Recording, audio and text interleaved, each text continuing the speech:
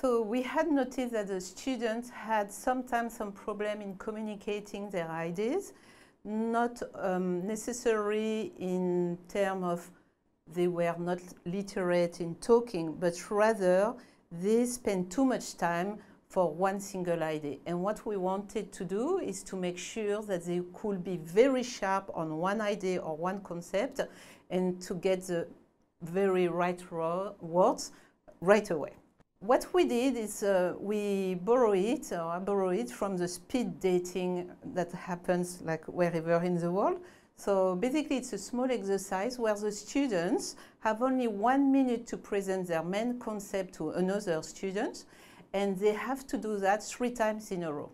So what happens is with the first students usually, they do talk a bit in length and they try to craft their words and to have it like very well, uh, like as much detail as they want to make sure that it's really representing their idea.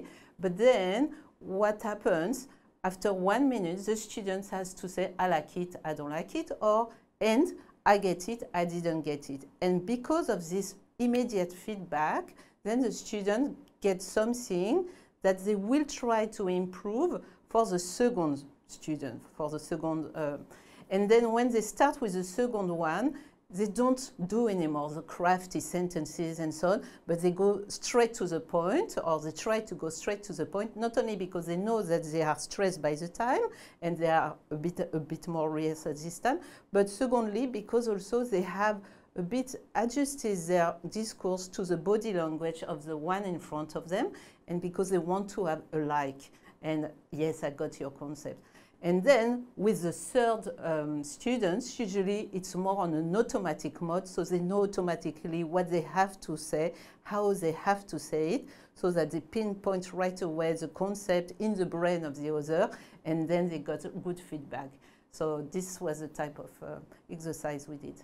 So that was very good in the sense that the students, they got automatism and it's a small exercise that they can rehearse at home with whoever. I always tell them, uh, go to see the person that you like the least in the class because for sure this person won't have any positive you know, a priori or attitude towards you. So it's a very good way to test. But go to see your parents, whoever is not aware of your discipline.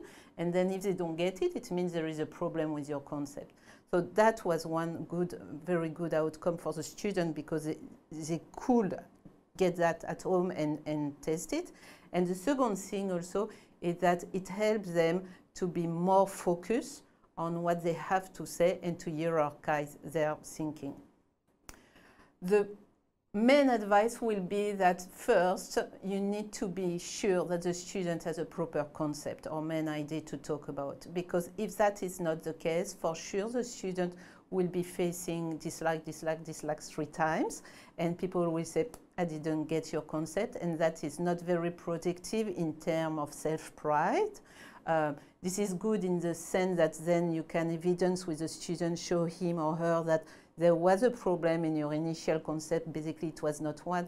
But this type of exercise is still to value them a bit. So it's why if you use a kiss, kick, kiss, you know, technique, um, the students should still feel that they benefited from it. So my tip will be make sure as a course convener or tutor that you have discussed the concept with the student first before they start the speed dating exercise.